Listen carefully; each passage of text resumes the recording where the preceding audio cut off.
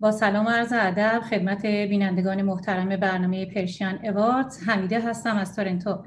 امروز افتخار همصحبتی با یکی از بانوان ورزشکار کشورمون دارم. ایشون خانم بدری اسدی بازیکن اسبق تیم ملی تکواندو سرمربی تیم ملی نونهالان و داور بین المللی کشورمون هستند عرض ادب و احترام خدمت شما خانم اسدی خیلی خوش اومدید به برنامه خودتون. بفرمایید در مقدمه معرفی از خودتون داشته باشید تا با سوالاتمون در خدمت شما باشیم. سلام میگم به شما و همه کسانی که برنامه شما رو دنبال می‌کنن. بدری اسدی هستم تو رشته ورزشی تکواندو فعالیت می‌کنم. سالهای متوالی بازیکن ملی بودم و دارنده سه مدال جهانی هستم.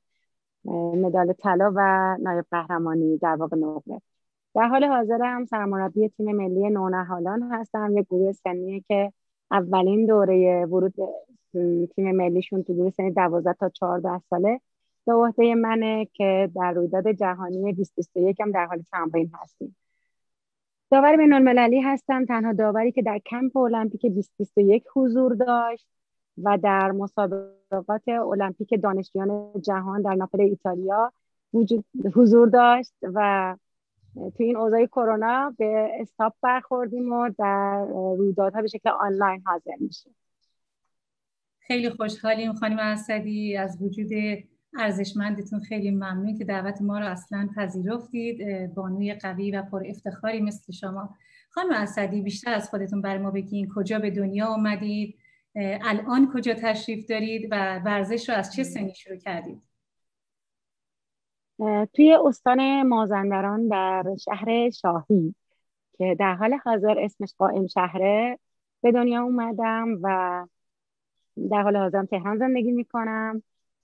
ورزش رو بعد از پایان جنگ در واقع تو ایران ورزش تو بخش بانوان فعالیت خودش شروع کرد. تا اون زمان همه درگیر اون تب و تاب جنگ و در واقع یه جورایی استرس های اجتماعی خودشون بودن و هیچ ورزشی در خصوص بانوان فعالیتی نداشت. هر جور فعالیت فرهنگی اجتماعی و تفریحی در واقع استاب کرده بود. بعد از پایان جنگ که یه مقدار به کار فرهنگی رسیدگی می‌شد مجموعه ورزشی فعال شدن و من هم ورزش رزمی روی آوردم فقط به جهت اینکه یه فانی رو تو زندگیم داشته باشم. بعد به شکل حرفه‌ای بهش نگاه کردم و هدفمند کردم تا به یه نتایجی هم ازش دست پیدا کردم. خانم اسدی از افتخارات ورزشیتون در قامت یک بازیکن یک داور و یک مربی برامون بگید. وقتی بازیکن ملی شدم هنوز مادر بودم. خب قاعدتا یکم سخت بود. خیلی کار آسونی نبود. ولی برای اولین حضورم در مسابقات جهانی ترکیه تونستم مدال نقره جهان رو به دست بیارم.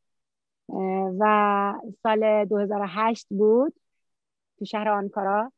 در رویداد بعدیم تو 2010 توی ازبکستان مدال طلا کسب کردم. 2009 در مصر مدال نقره رو به دست آوردم. به هر حال فشار تمرین مسئولیت خانواده اینا همه در کنار هم اجازه داد. من از خودم زنی بسازم که بتونم همه قسمت های زندگیمو پارت بندی کنم. هم به رویاهای خودم بپردازم و به هم به تعهدات خودم. و خوشحالم که در عین حفظ خانوادم تونستم این جایگاه رو کسب بکنم. و برای دخترای ایران یک ایجاد انگیزه در واقع بشه که اونها هم چالش های زندگیشون رو دور بریزن یه جوری مقدس نگاه کنن به هدفشون. خانم اسدی تو زندگیتون الگویی داشتید که به عنوان الگوی ورزشی که از ایشون الهام بگیرید؟ واقعیتا نه. الگویی وجود نداشته. چون میگم وقتی که ما از جنگ فارغ شدیم اصلا ورزش تازه استارت خورده بود. ما در بخش رزمی بانوان چالش بزرگمون این بود که حتما باید با مهارم کار می‌کردیم. الزاما باید پدری برادری یا همسر رزمی کاری می داشتیم که مجاز به فعالیت می شدیم به خاطر همین کار خیلی سخت بود و من این آدما رو در کنار خودم نداشتم. چه رسد به اینکه الگویی داشته باشم. بر حسب اتفاق به یه باشگاهی مراجعه کردم و تمرینم شروع کردم. ولی از اونجایی که خودم یه ذره آدم کمالگراییم به کاری ورود نمی کنم و اگر ورود کردم باید ایدئال خودم باشم تونستم شاید بشه گفت اسم یه آدم موفق رو خودم انتصاب بدم. خانم اسدی آیا شما تو خانوادهتون تو اطرافیانتون نگاهشون به رشته ورزشی شما چطور بود؟ آیا اون حمایتی که نیاز داشتین دریافت کردید؟ آیا مشوقی داشتید؟ مشوق میشه گفت نه واقعیتا. آدم دلم می‌خواد حداقل اینجا واقعیت ها رو بشه گفت. تو ورزش تو بخش بانوا میگم تو شروع یک کار فرهنگی برای همه آدمایی که تو یک تغییر تحول بزرگ اجتماعی هستن اصلا فکرشون رو هم بهش اختصاص نمیدن. اینکه خب حالا یه مادر از یک فضای خانواده از اون حس مادرانش فکر می‌کنن شاید کم بشه بخواد بره یک عرصه ورزشی شاید الان همه چیز خیلی واضح و حمایت های خیلی بیشتر همه چیز آسون در دسترس باشه. حتی ما تعداد باشگاهایی که فعالیت می‌کردن به قدری نادر بود. ما باید مسافت زیادی رو می‌رفتیم تا به یک باشگاه مورد نظر برسیم که اون رشته رو که مد نظر شماست با امکانات خیلی خیلی کم در اختیار قرار بگیره یا ساعتی باشه که بتونی تو استفاده ببری. چون بخش ارزان ساعت ها در اختیار آقایون بود و ما محدود زمانی رو می‌تونستیم از فضای سالن استفاده کنیم. به خاطر همین نمیشه گفت مشوقی داشتیم. بیشتر مقاومت بود. در مقابل مخالفت ها بیشتر خود ساختگی بود. به نظر من برای من اینطور بود که به همه ثابت کنم میشه همه چی رو در کنار هم داشت. یه مادر می‌تونه به وظایف مادرانش همسرانش بگذرونه هدایت کنه. یه جایی یه تایمی هم مال خودش باشه و برای خودش زندگی هدفمندی رو ایجاد بکنه آیا به نظر شما رشته های رزمی الزاما رشته های خشنی هست مخصوصا برای بانوان؟ خشن از چه نظر؟ هر رشته که زد و خورد داره در نگاه اجتماع میگن وای چه خشن اولا که من در قسمت پومسه کار نمایش این رشته فعالیت کردم و مدال کسب کردم در بخش مبارزش که در واقع تصویر شما هم هست شما فکر کنید تصویر رو الان یه بیننده داره نگاه می‌کنه و هیچ آگاهی از تکواندو نداره. اون ضربه پایی که تو صورت حریفش می‌خوره ممکنه بگه واو کاش من اون آدم باشم و بتونم اون توانایی رو داشته باشم و اون ضربه پا رو بزنم. یکی ممکنه می‌کنه واو نکنه بینی من تو اون حادثه بشکنه. پس دو تا انگیزه اتفاق میفته از نگاه آدم ها این برداشت متفاوته. خطرناک بودن در صورتی که تو بتونی امنیت خودت رو فراهم بکنی میشه گفت کاهش پیدا می‌کنه. در حالت طبیعی هم در اجتماع با خطرات اجتماعی زیادی ما رو تهدید می‌کنه. ولی ورزش تو همه رشته حتی اگر والیبال هم بازی کنیم ممکنه پنجمون برگرده انگشتمون آسیب ببینه. خطرات خودش رو داره ولی نگاه اجتماع با همدیگه فرق می‌کنه. من فکر می‌کنم بیشتر تخلیه انرژیه تا رو و وحشت و ترس خطر. قطعا همینطوره و ما با بچه های رزمکار صحبت کردیم و همه بسیار مهربان و متواضع بودن خانم اسدی عزیز توی زندگی بله. براتون پیش اومده که از توانایی های رزمی و بدنیتون برای دفاع از خودتون استفاده کنید؟ اصلا چون اینقدر آدم ها با کلام می‌تونن تأثیر گذار باشن در نگاه می‌تونن احساسشون رو شیر کنن حتی غمشون رنجشون خشمشون نیازی به استفاده از نیروی فیزیکی نمی‌بینم و هرگز پیش نیومده. شاید متاسفانه. ولی نه پیش نیومده. ورزش رزمی خانم اسدی چه تأثیری تو روحیات و زندگی شما داشته؟ به عنوان مادر به عنوان همسر و به عنوان فرزند. واقعیتا یک اعتماد به نفسی بهت میده. من فکر می‌کنم کلا ورزش مثل وعده های غذایی برای همه آدم ها یک ضرورته. نمیشه اون رو اصلا در قالب یک تخصصی. شاید همه ها حتی سلبریتی دنیا ورزش رو به عنوان یک وعده روزمرگی در طی اون تایم تیبلاشون میگنجونن و اون اعتماد به نفسی رو که بهت میده احساس می‌کنی داری شکرگزاری می‌کنی از خدا به خاطر اون تن سالمت. شاید خیلیات شرایط حتی راه رفتن رو هم نداشته باشن. ضعفای جسمی داشته باشن که ازش رنج ببرم وقتی من این بدن سالم رو دارم می‌تونم این رو سالم نگهش دارم و مثل یک عبادت لذت بخش خانم اسدی به نظر شما بهترین زمان و مناسب ترین زمان برای شروع ورزش های رزمی چه سنیه؟ مخصوصا برای دختران ما. خودم تو سن 6 سال برای بچه ها توصیه می‌کنم به شکل فان شروع بکنن که در اون تربیت فیزیکشون هم مربی بتونه گذار باشه. هم بتونیم استعدادیابی کنیم که اصلا شاید رشته ای رو که خانواده دارن براش انتخاب می‌کنن رشته مورد نظرش نباشه. بشه کنترل اون رفلکس های عصب و عضلش رو در واقع تشخیص داد مهارت های رفلکس های الگوی حرکتیش رو کمک کرد. شکل بگیره. تو هر رشته می‌خواد بره اگر بخواد تو سن 6 سالگی شروع بکنه تا یک چند سالی بازی بازی و تفریح بعد می‌تونه تخصص خودش رو آگاهانه انتخاب بکنه. حالا یک سوال شخصی خانم اسدی. اگر قرار باشه به عقب برگردین و مسیر زندگیتون رو دوباره انتخاب کنین دوباره ورزش رو به عنوان هدف انتخاب می‌کنید آیا دوباره همین رشته رو انتخاب می‌کنید؟ فکر می‌کنم بله. شاید قطعا در کنار چون ورزش در خانواده هنر میگنجه هنر دیگه ای هم باز چون کلا یک بخشی از زندگی خودت رو وقتی به هنر میدی اینقدر زیبایی خلقت زیاده احساس یه بخشی از این کائناتی. و ورزش رو دوباره انتخاب می‌کنم به جهت اینکه حس خوبی رو که بدن مادر میده در کنار بچم احساس می‌کنم وقتی با یه بچم به عنوان یک مادر توپی رو رد و بدل می‌کنم خیلی حس بهتری رو تو خانواده شیر می‌کنم. اون هیجان بیشتری وجود داره. تا اینکه من به عنوان یک آدم علمی بگم سکوت کنین من برای کنفرانس فردا می‌خوام حاضر شم. سرم به کتابم باشه ولی یک زمانی رو انرژی مضاعفی رو نتونم اکتیو باشم. با سن بچه هم بازی کنم با سن بچه هم رشد کنم. و اون حرکات و حیاهویی که ورزش ایجاد می‌کنه هیچ کتاب و کاغذ و دفتری نمی‌کنه. هر آنچه علمی باشی باز باید ورزش باشه. هر آن هنری داشته باشی باز باید ورزش باشه. فکر می‌کنم دوباره بله.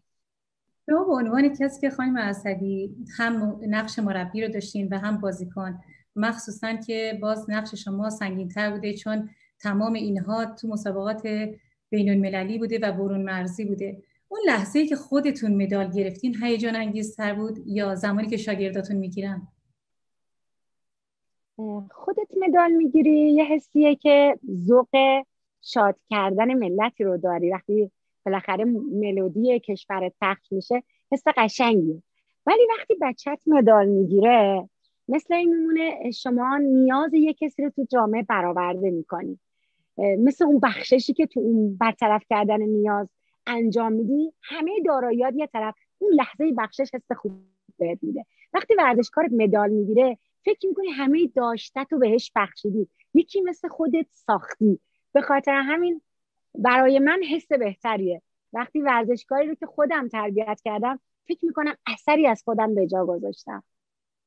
قطعا همینطوره و فکر می‌کنم همه ما به حرف شما ایمان داریم که این حرف بهترین حالت برای همه مربیا به عنوان کسی که خانم اسدی یک فرد تأثیر گذار تو جامعه ورزشی و تکواندو هستین سطح تیم ملی تکواندوکارای دختر ما رو چطوری می‌بینید چطوری ارزیابی می‌کنید آیا شانسی برای مدال المپیک داریم اول از همه قطعا می‌دونید ما دو تا نماینده المپیکی داریم و این باعث افتخار هر ایرانی در هر نقطه از دنیاست. خب هم یه دختر در پارا المپیک داریم فاطمه دودانگه و هم دختری در المپیک رسمیمون داریم. غیر از اینها ما دو تا دختر داریم از دو نقطه دیگر دنیا کیمیا علیزاده و دینا پویونس که اینا ایرانی هست در واقع فرزند این خاکن. الان در قالب پناهجو ولی به هر حال ثمره که از اینجا در واقع متولد شده و قطعا دلش برای ایران میتپه. این یعنی چهار نماینده ایرانی. ایران پتانسیل های ورزشی خیلی خیلی قوی داره و این شانس اتفاق میفته که هر کجای دنیا هست بتونه به آرزوهاش برسه و اون توانایی خودش رو نشون بده. ما خیلی از استعدادهای استعدادهایی رو داریم که حتی شکوفا نشده. ما در دنیا تو تکواندو جلوییم. حتی نسبت به کره گاهن. قطعا همینطوره. خانم اسدی لطفا برای ما از دشواری ها و محدودیت های رزمیکاران بانوی کشورمون بگید. خب خودتون می‌دونید که عدالت اجتماعی کلا بین زنان و مردان جامعه تو خیلی از کشورها به تعادل نرسیده. الزاما فقط تو ایران نیست. خب تو ایران هم به حال این شرایط هست. غیر قابل انکاره نمیشه انکارش کرد. ما دوست داریم که این عدالت اجتماعی طوری بشه که فرصت های یکسانی برای زن و مرد فراهم بشه. برای رسیدن به آرزوهاشون قطعا که زنها از مردها در بعضی از مواقع توانایی های بیشتری دارن. این یکسان سازی هنوز نشده و این مشکلات رنج بزرگی برای همه زنان دنیا. انشالله حل بشه خانم اسدی شما به عنوان یک بانی تاثیرگذار و موفق بعد از بازیکنی هم به عنوان اولین داور برون مرزی ما بودین هم مربی بسیار فعال کوشایی بودید و هر دو رو تجربه دارید کدوم نقش براتون جذابتره؟ داور یا مربی؟ جذابتر یا سختتر؟ جذابش که همش جذابه که آدم ورود می‌کنه. من فکر می‌کنم آدم تو هر رشته ای که هست همه شاخصهاش رو تجربه کنه می‌تونه قضاوت به واقع داشته باشه. وقتی من بازیکن بودم به راحتی می‌تونم بازیکنی بسازم که لحظه ورود به زمینش رو هم مهار کنم استرسش هم کنترل کنم خوب تربیتش کنم. اما داور یه بحث جدایی است که فوق العاده سخته چون که مربی رو ورزشکار انتخاب می‌کنه. کسی که تو مجموعه آکادمی معراج من تمرین می‌کنه با علم به اینکه خانم بدری توش مربیه وارد کلاس من میشه. ولی داور رو بازیکن انتخاب نمی‌کنه. من وارد زمینی میشم که تو دو بازیکن می‌خوام قضاوت کنم. تلاش یک سالش رو می‌خوام ارزیابی کنم. کمترین اشتباه من ممکنه.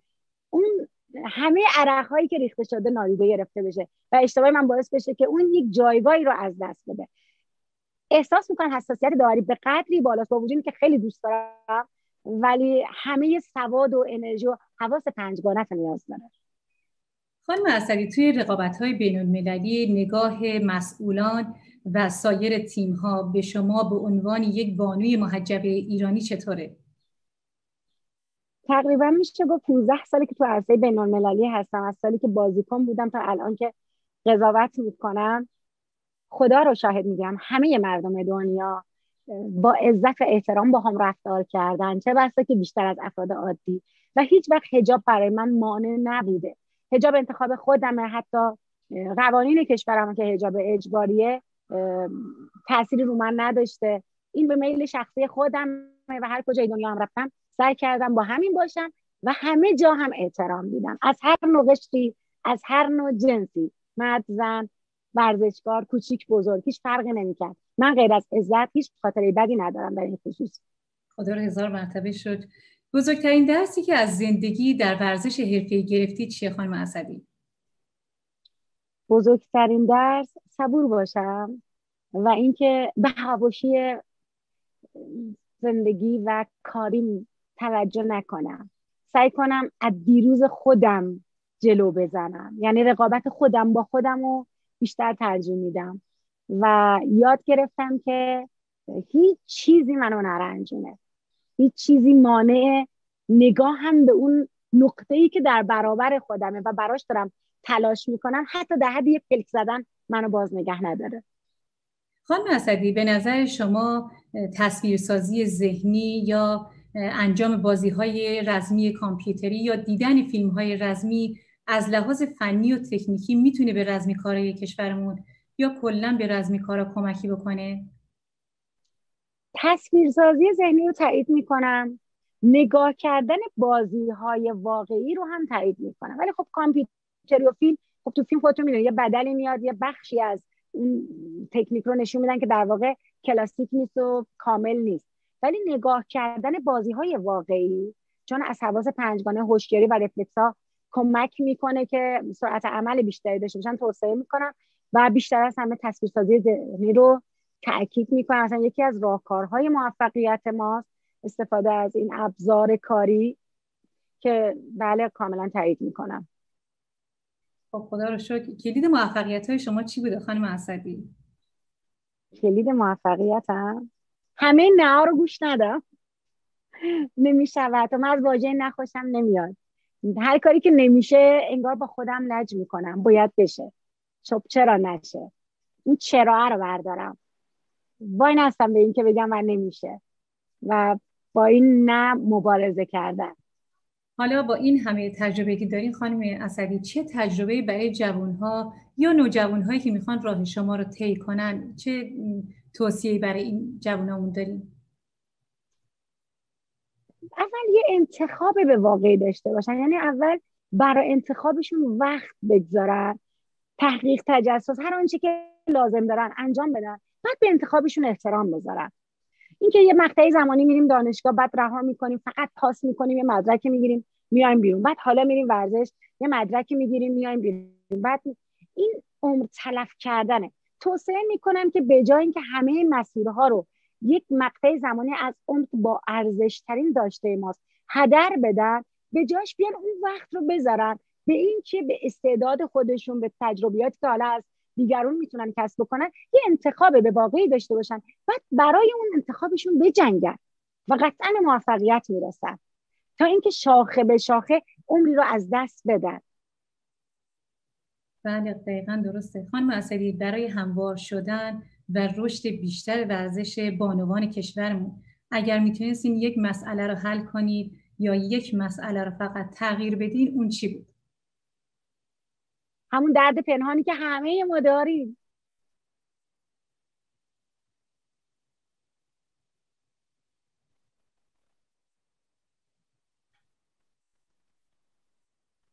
عوض می‌خوام. یک سال سازی. برداشتن هر مانعی به جرم زن بودن. امیدوارم که یک روزی صدای هممون دستای هممون زنجیروار به هم وصل بشه و صدامون به جایی که باید برسه خانم اسدی برسه. قلب همه ایرانیا هر جای دنیا که هست برای همدیگه میتوه و تمام سعی و تلاشمون برای رشد و ترقی به هر حال کشورمونه چه در زمینه شعر چه در زمینه ادبیات و چه در زمینه ورزش. به هر حال ما ایرانیم و یک روحی در تعداد زیادی کالبد. خانم اسدی آیا شخص خاصی تو زندگیتون هست که در این مسیری که شما هستین و در این موفقیتی که قرار دارید شما رو خیلی همراهی کرده باشه؟ و اگر هست الان با ایشون چه صحبتی دارید؟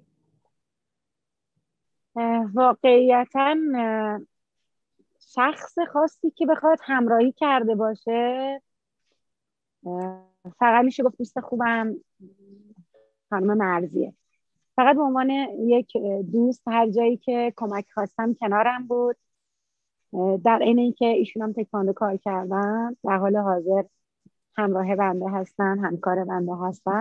اما خیلی دوستشون دارم. هر جایی که انرژی کاری زیادتری از من میطلبید برای اقدام به یک فعالیتی؟ ایشون واقعا دارم میگم بی هیچ چشم داشت توی هر لحظه کنارم و دوست دارم همینجا ازش تشکر کنم. زنده و پاینده باشن انشالله زنده باشه فرزند هستین و به هر حال یک فردی هستید که برون مرزی کار می‌کنید یعنی قطعا اردوهای زیاد تمرینهای زیاد و فشار کاری خیلی زیادی رو تحمل می‌کنید با توجه با این همه مسئولیتی که شما دارید چجوری بین کار و زندگیتون تعادل ایجاد می‌کنید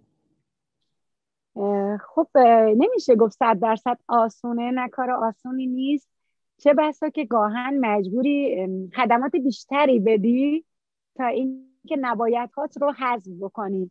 بچه ها من بچه های فهیمی هستن خدا رو شکر و همه جوره کمکاستی های من رو به جون دل پذیرفتن و گله نکردن. همین برای من یه دنیا ارزش داره. سعی کردم بالانس کنم. یعنی اول همیشه همیشه در حال حاضرم همینطوره. تعهد اولیه من خانواده بوده و هست. اما به هر حال کسری هم پیش میاد. صبورانه تحمل کردنشون رو اینجا تقدیر می‌کنم. نمیشه گفت کسر نبودن یک احساس رو قیمت گذاشت. وقتی احساس مادرانه وقتی نیست کسر دیگه یک کسریه در زندگیه این کسر بودنه رو اونا با صبوری پذیرفتن. خانم بدری اسدی از حضور گرم و پر انرژی شما خیلی خیلی ممنونیم. قطعا که تجربیات شما برای خیلی از جوانهای ما راهگشا خواهد بود و انشالله این برنامه در حافظه ورزشی ایران ثبت و ضبط خواهد شد. انشالله که دعوت های بعدی ما رو برای میز ها بپذیرید و از حضور گرم و انرژی شما باز به مراتب و بارها بارها بتونیم استفاده کنیم. به عنوان کلام آخر اگر صحبتی دارید در خدمتتون هستیم. قوی باشیم هممون قوی باشیم و برای آرزوهامون بجنگیم. باز هم ممنون که دعوت ما رو پذیرفتید امیدوارم پاینده و سربلند باشید و سالهای سال کشورمون از حضور مثبت و پر انرژی شما استفاده کنه. شما و تمام بیننده هامونو به خدای بزرگ و مهربون میسپارم. خدا یار نگهدارتون.